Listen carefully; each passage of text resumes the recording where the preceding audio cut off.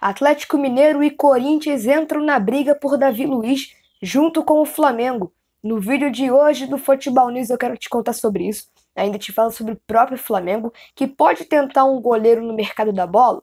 Falo também sobre o Grêmio, que tem seis jogadores para rescindir contrato no fim de 2021. Falo também sobre o Internacional, que anunciou os jogadores Kaique Rocha e o Gustavo Maia. E falo também sobre o Palmeiras, que recusou uma nova oferta do City Football Group de 45 milhões de reais.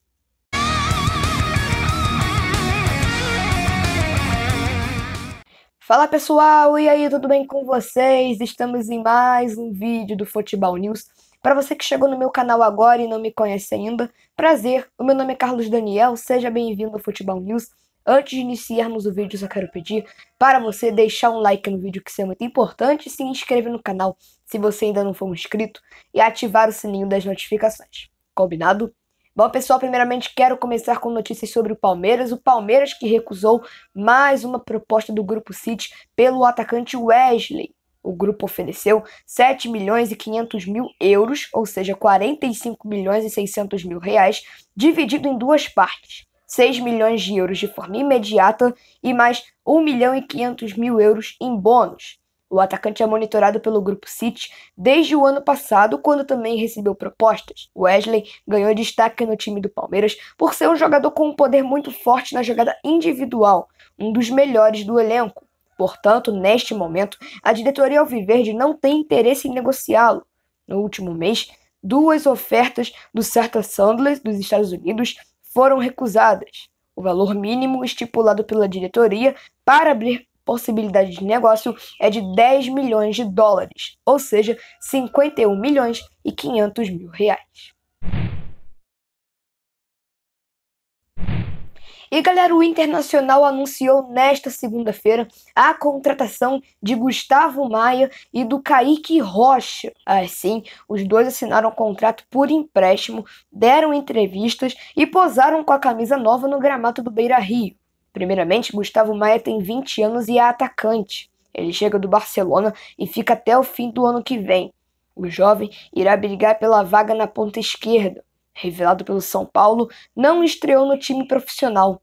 Logo depois de subir para a equipe principal, foi para o Barcelona. Foi pouco aproveitado e foi para o Barça B, onde não foi muito bem. Kaique Rocha é um zagueiro e também tem 20 anos. Seu empréstimo é de dois anos. Ele vem da Sampdoria após ser contratado junto ao Santos. Foi revelado no Peixe e também ainda não estreou no time profissional já defendeu as seleções brasileiras de base e ganhou a camisa 3. Assim como Maia, Kaique também jogou com Yuri Alberto.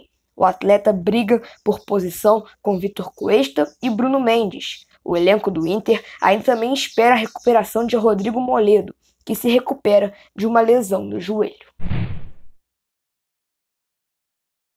E galera, ao menos seis jogadores têm contratos para se encerrar com o Grêmio já nesse próximo mês de dezembro.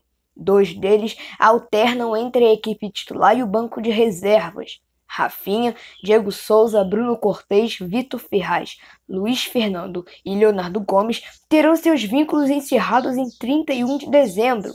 Destes, apenas o lateral direito Leonardo Gomes tem renovação assegurada.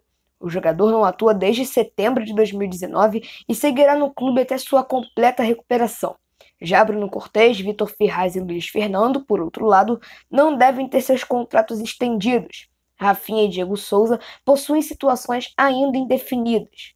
O Grêmio projeta para 2022 a primeira grande reformulação do elenco após a recente era de títulos e a tendência é de que muitos outros jogadores deixem o clube já na próxima temporada. E galera, o Flamengo movimentou o mercado da bola com as contratações de Kennedy e Andréas Pereira. E também o foco está em 2022. O clube rubro-negro poderia estar de olho em um possível goleiro no mercado da bola para o ano que vem. O alvo é o goleiro João Paulo, do Santos. Diego Alves segue como titular absoluto no Flamengo, mas seu contrato termina em dezembro. No ano passado, sua renovação se tornou uma novela e a diretoria teme que não haja acordo desta vez. Renato Gaúcho tem Gabriel Batista e Hugo Souza como suplentes atualmente. Os dois, entretanto, são muito jovens e carecem de bagagem necessária para o nível de competições que o rubro-negro disputa. Além disso, o goleiro César se recupera de uma cirurgia no joelho e deve estar à disposição ainda esse ano. Ele, contudo, esteve perto de ser negociado no início do ano. João Paulo vem se destacando nas últimas temporadas e agora tem a sombra de Jandrei. O goleiro chegou ao Santos nos últimos dias após seu contrato com o Genoa da Itália não ser renovado. Ele assinou com o Peixe por um ano e já pode estrear. Segundo informações do jornalista Rafael Melo, o Flamengo fez uma sondagem por João Paulo. Cria da base do Peixe, João Paulo renovou seu contrato em 2020 por cinco anos. Sua multa rescisória é de 100 milhões de euros, mas seu valor de mercado, segundo o Transfer Market, seria em torno de 1 milhão e 400 mil. O futuro de Davi Luiz ainda é incerto, mas tem de ser no futebol brasileiro. Após especulações de negociações do zagueiro com o Flamengo, mais dois clubes brasileiros entraram na jogada.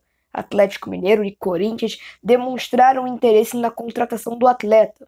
Segundo o site Lance, o clube paulista já teria enviado uma proposta ao defensor. Em ano que antecede a Copa do Mundo, Davi Luiz vê com bons olhos uma vinda ao futebol brasileiro. Embora Marcos Braz, vice-presidente de futebol do Flamengo, tenha descartado a negociação com Davi Luiz, o nome do zagueiro com um vasto currículo europeu ganhou força no clube rubro-negro. Nos próximos dias, o defensor brasileiro deve decidir em qual clube irá dar continuidade à sua carreira.